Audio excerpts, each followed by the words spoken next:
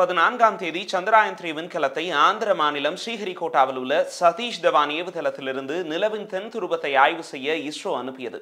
அறுநூற்று பதினைந்து கோடி ரூபாய் செலவில் நாற்பது நாள் பயண திட்டத்துடன் அனுப்பப்பட்ட சந்திராயன் த்ரீ விண்கலம் முதலில் புவிவட்ட பாதையை சுற்றி வந்தது. பிறகு நிலவுவட்ட பாதைக்கு மாற்றப்பட்டு படிப்படியாக அதன் சுற்றுவட்ட பாதை குறைக்கப்பட்டது. கடந்த சில நாட்களுக்கு முன்பு உந்து கலனிலிருந்து விக்ரம் லேண்டர் கருவி பிரிக்கப்பட்டது. இந்த லேண்டர் இன்று மாலை ஆறு நான்கு மணிக்கு நிலவின் தென் துருவத்தில் தரையிறங்க இருக்கிறது.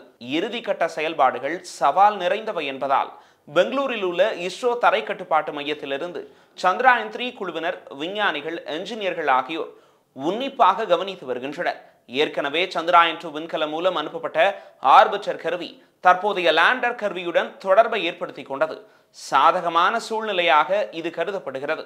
இரண்டும் தங்களுக்கிடையே தகவல்களை பரிமாறிக்கொண்டுள்ளன இதனால் லேண்டர் நிலவின் மேற்பரப்பில் மென்மையாக தரையிறங்குவதற்கான வாய்ப்பு அதிகரித்துள்ளது. இந்த கிளைமாக்ஸ் நிகழ்வுக்கு திட்டமிட்டபடி அனைத்து ஏற்பாடுகளும் தயார் என இஸ்ரோ அறிவித்துள்ளது. நிலவில் லேண்டர் கருவி தரையிறங்கும் காட்சியை காண உலகமே ஆவலோடு காத்திருக்கிறது.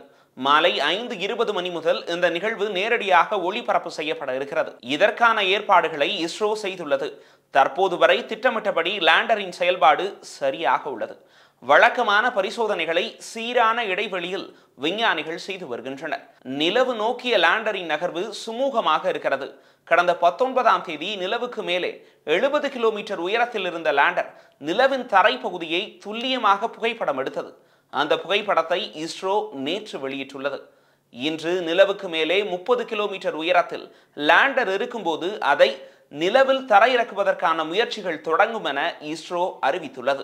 இந்நிலையில் பிரிக்ஸ் மாநாட்டில் பங்கேற்க தென்னாப்பிரிக்கா சென்றுள்ள பிரதமர் மோடி சந்திராயன் த்ரீ தரையிறங்கும் நிகழ்வை அங்கிருந்தே பார்வையிட ஏற்பாடுகள் செய்யப்பட்டுள்ளன.